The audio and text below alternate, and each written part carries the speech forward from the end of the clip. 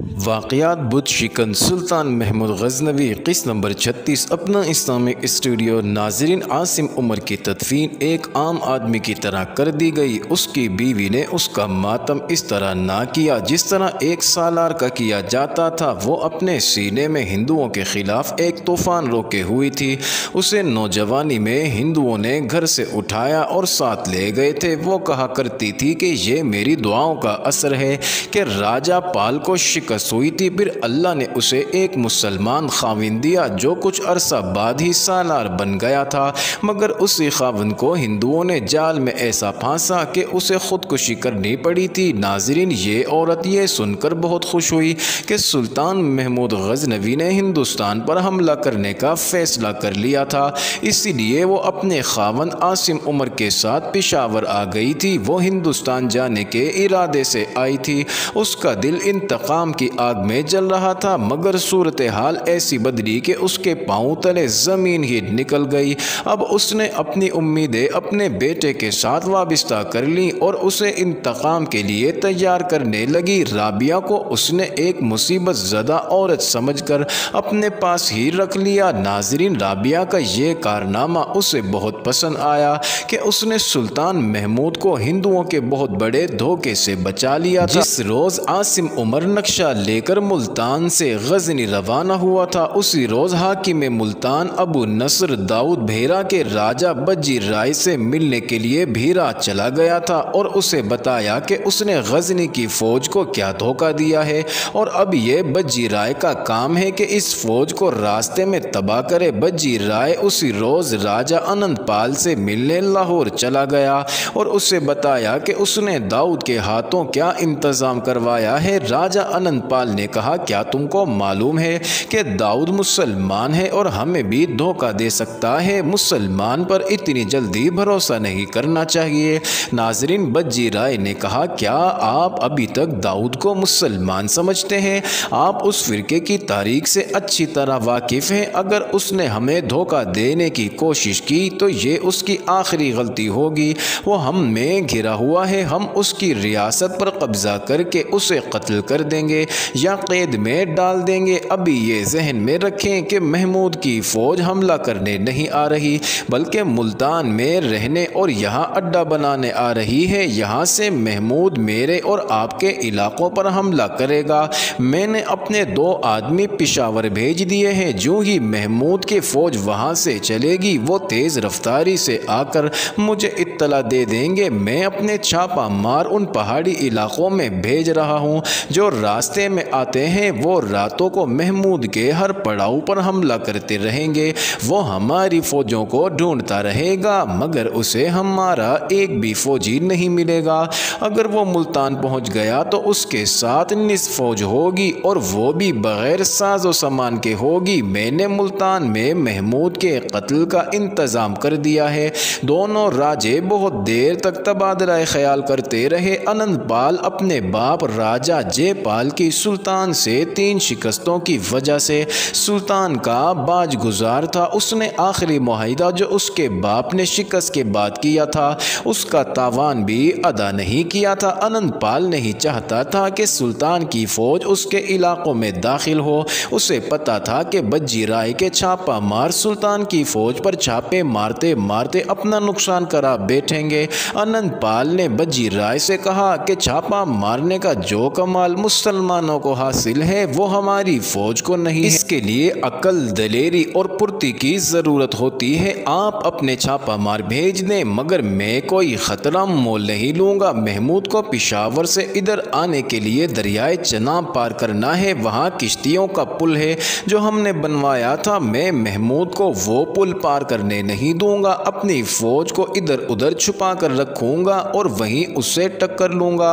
अगर वो आगे आ गया तो रास्ते में उसे आप संभाल लेना। हमारी कोशिश ये होनी चाहिए कि वो आए तो ज़िंदा वापस ना जाए।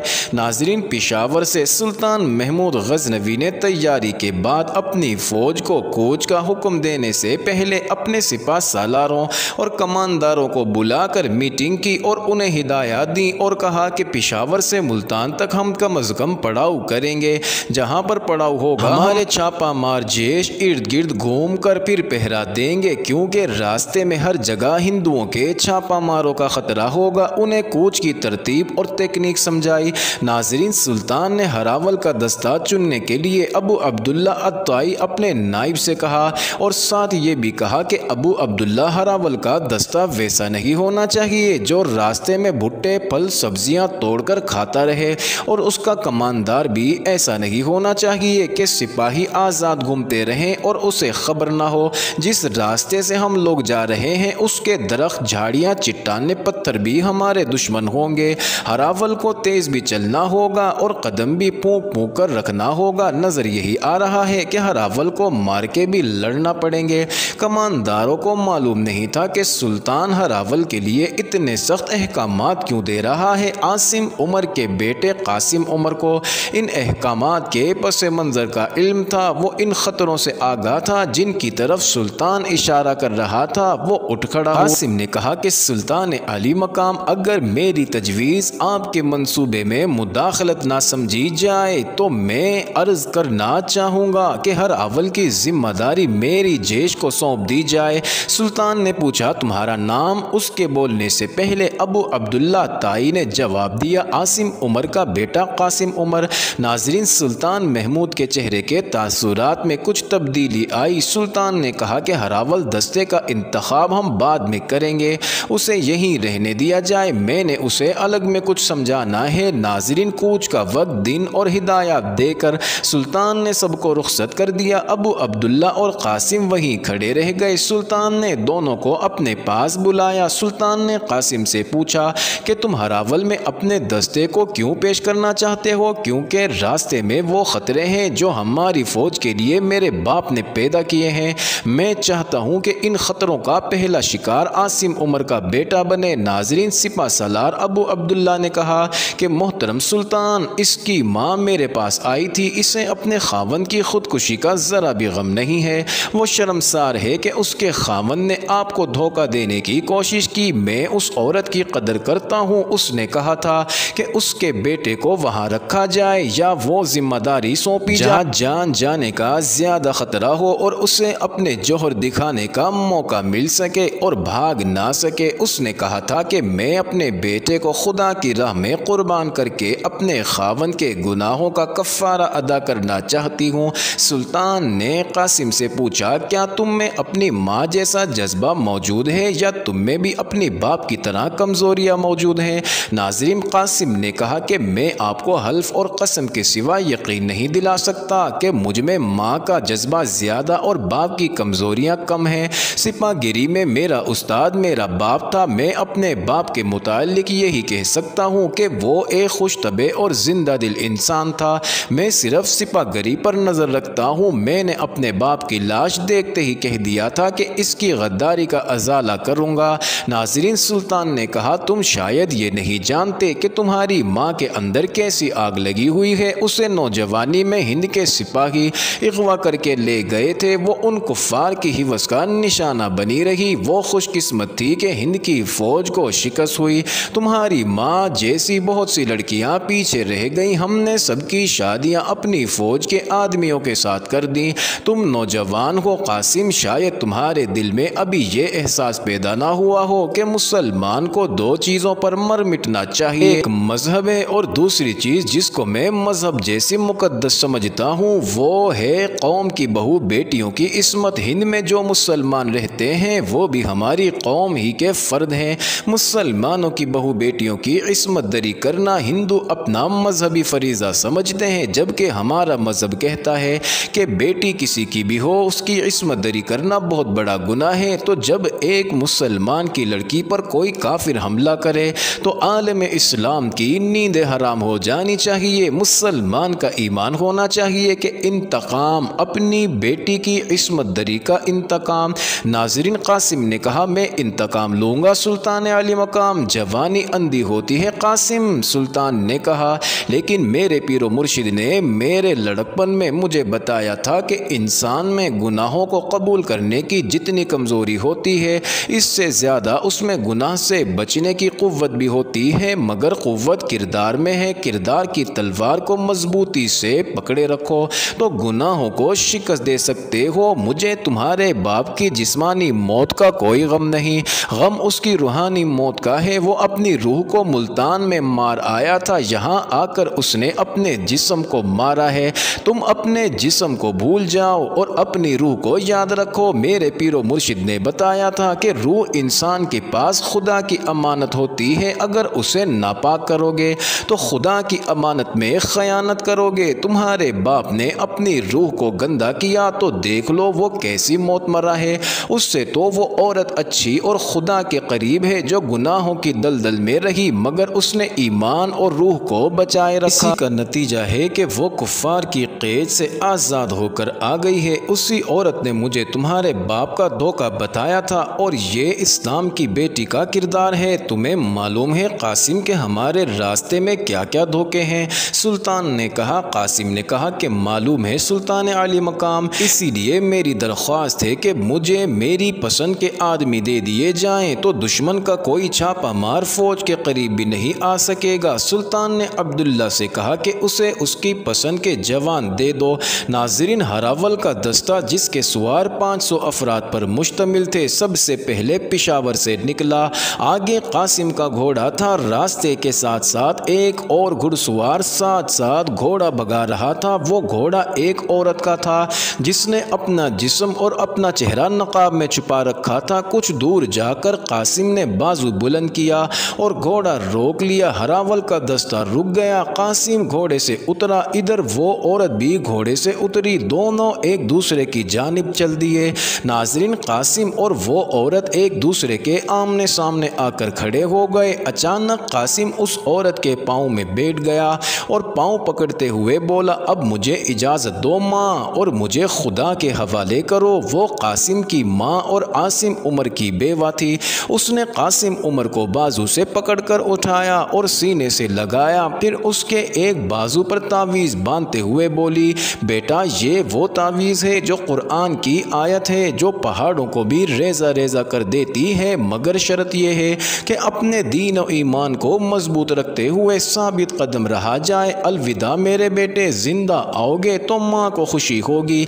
अगर तुम्हारी लाश आएगी तो बहुत ज़्यादा खुशी होगी। लेकिन मैं फ़तह की खबर सुनो, ये अल्फाज बोलते हुए माँ की आवाज़ हलक में दब कर रह गई। उस पर रिक्कत तारी हो गई। कासिम कूद कर घोड़े पर सुवार हुआ और हरावल दस्ता चल पड़ा। बहुत दूर जाकर कासिम ने पीछे देखा तो उसे दूर सुबह के धुंधलुके में एक चिट्टान पर एक घुड़सवार नज़र आया। उसकी माँ उसे बाजू हिला हिलाकर अलविदा कह रही थी।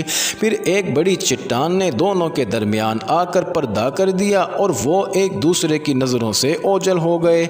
अपना इस्लामिक स्टूडियो के मोजिज़ नाजरीन, आइए अब चलते हैं। दूसरी जानब सूरज तुलू हो रहा था जब सुल्तान महमूद गजनवी एक वसी मैदान में अपने लश्कर के सामने खड़ा था। रसद का काफिला पहले ही रवाना कर दिया गया था और बाकी फ़ौज कूच के हुक्म का इंतज़ार कर रही थी। सुल्तान महमूद गजनवी ने अपने सामने खड़े लश्कर को देखते हुए कहा, इस्लाम के मुजाहिदो, आज तुम मेरे हुक्म से नहीं, बल्कि अपने अल्लाह के हुक्म से कूच कर रहे हो। तुम उस मुल्क में जा रहे हो, जहाँ मोहम्मद बिन कासिम के मुजाहिदों की आज़ानें गूंजती थी।